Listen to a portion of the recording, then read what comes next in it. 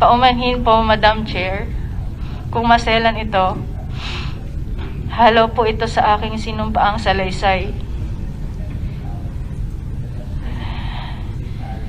Nung tinigasan na siya, sinimulan niyang tanggalin ang pajama at pants at underwear ko.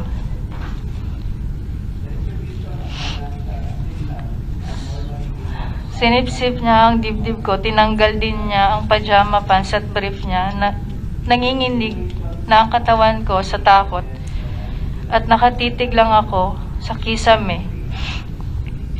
Pinipigilan ko na lang ang mga luha ko dahil sobra akong nagulat at walang magawa.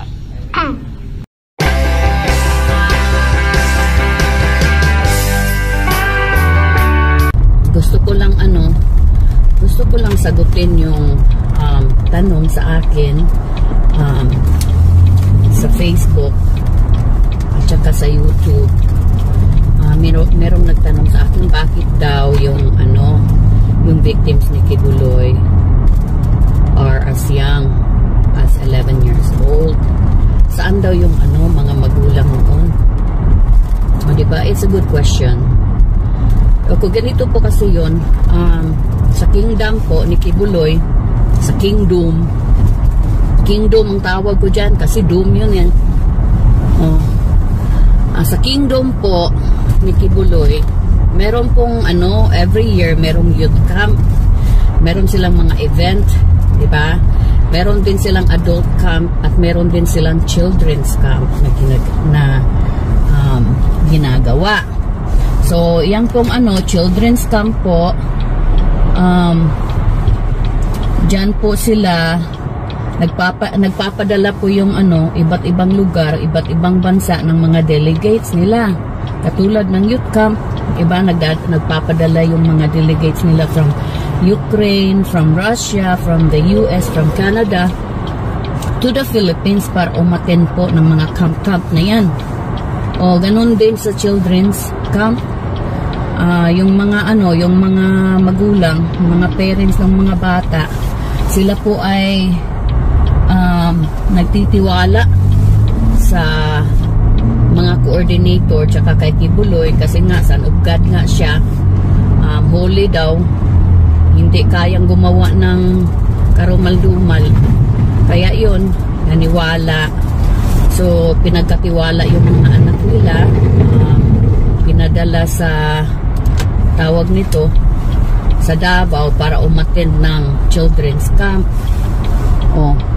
Pagdating po doon sa Davao, habang nagka-camping po yung mga bata, uh, iniispatan na po ng mga coordinators at saka ni Kibulo yun kung alin yung mga bata na ano gusto nilang ipaiwan sa compound.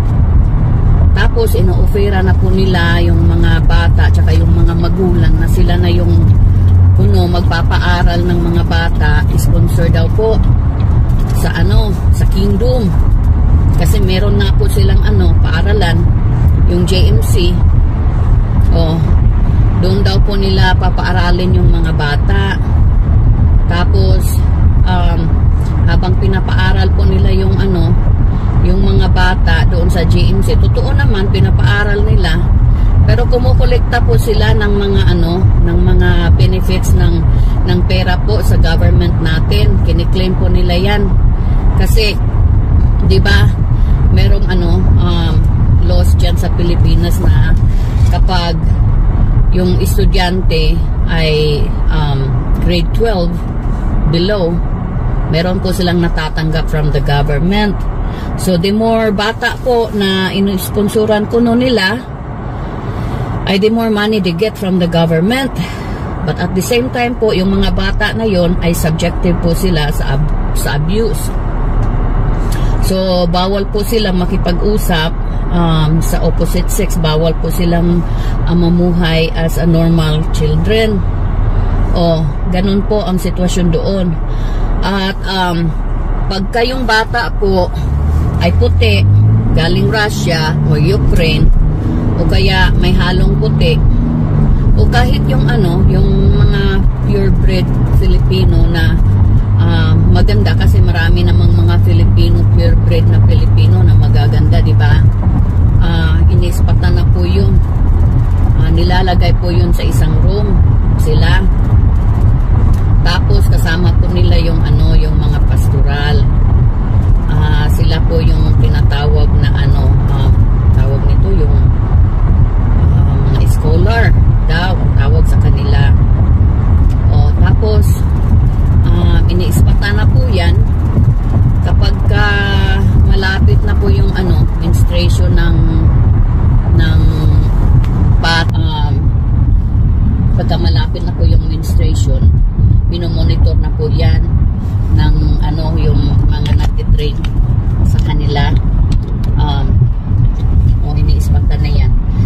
tapos pagka ano ah, nagkaroon na ng unang menstruation meron ng schedule yan kung kailan yan ano ah, maging pastor duty isasalang sa pastor duty.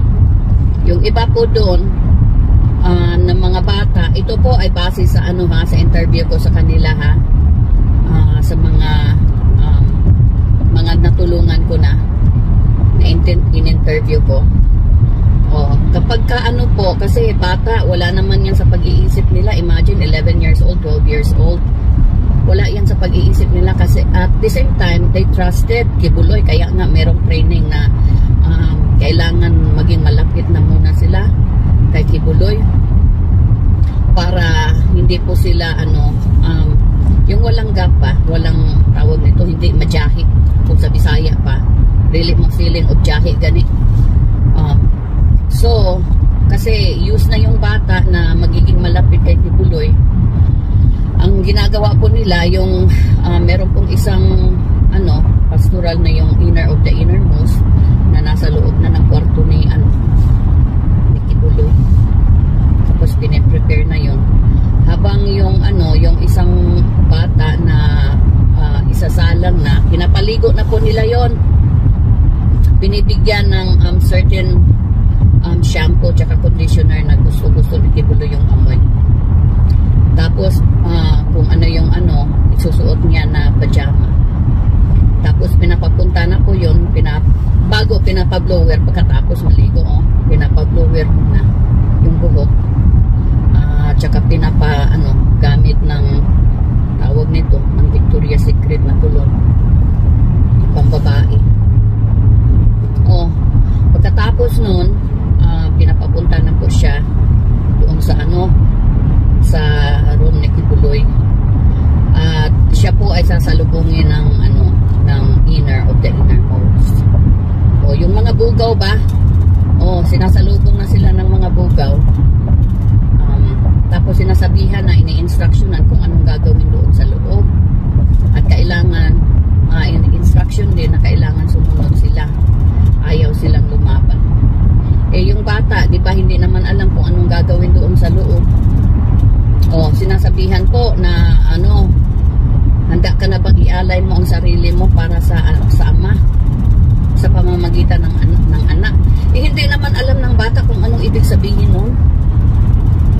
Tapos 'yun, ah, pinapaano doon sa ano, sa higaan. Pinapahiga. Oh. Tapos pag nahi, na nandoon na yung bata o kung saan saan na nakarating yung kamay ni Kibuloy sa parte ng katawan ng bata o syempre ikaw bata tatayo ka, tatakbo ka o pag tumakbo ka kalaban ka na ng lahat ng mga pastoral either inner of innermost or inner circle wala nang kakausap sa'yo hindi ka nakausapin ng ilang buwan, ilang ilang taon hanggang uh, mag-change yung ano mo, yung mind mo. Na sa su- susunod ka, hindi ka natatakbo. Kasi yung rape daw, pagka ginalaw ka ni Kibuloy is privilege yan. Oh, privilege mo daw yan na ma-rape ka ni Kibuloy. Kasi anak yan eh. Anak daw yan ni Satanas pala. Oh. Kaya ganun. Privilege ba yan? Nirape ka na, privilege pa mga gago.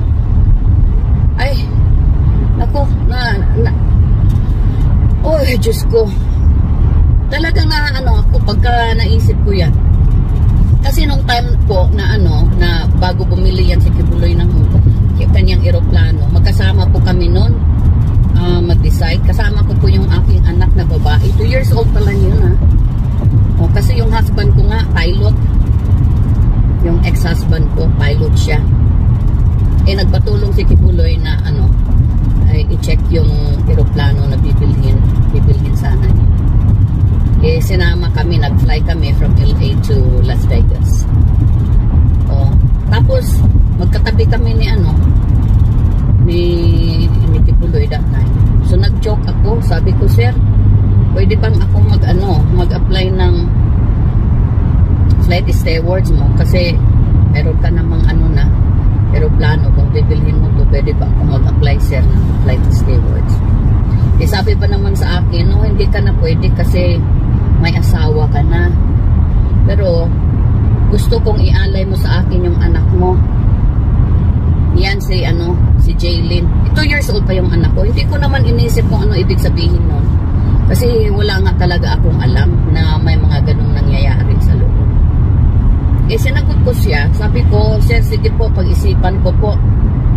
Kasi sabi niya, alam mo, Arlene, yung ano, yung tinalikuran mo yung commitment mo sa Panginoon. Ah, kailangan mong iala yung anak mo sa akin. Parang kapalit ko raw. Babae yung anak ko, 2 years old. Hindi ko naman inisip, kaya ganun yung ano, yung response ko sa kanya. Sabi ko, pag-isipan ko po, sir. Oh. Tapos nung sinabi ko yon yun na, lagi nang nilalagay sa isip ko na ah, kung ayaw sumama ng asawa ko sa Davao. Kasi nga gusto niya na mag full time kami. Kahit ilang anak pa daw ang ano, ang, ang meron ako. Kaya niyang paaralin. Kaya niyang suportahan. Kasi nga, kasi gusto niya ibibigay sa kanya. Kapalit ko nga. O yun, kaya sabi niya kung hindi daw papayag yung ano, yung asawa ko, hiwalayan ko kasi susunod naman daw yun.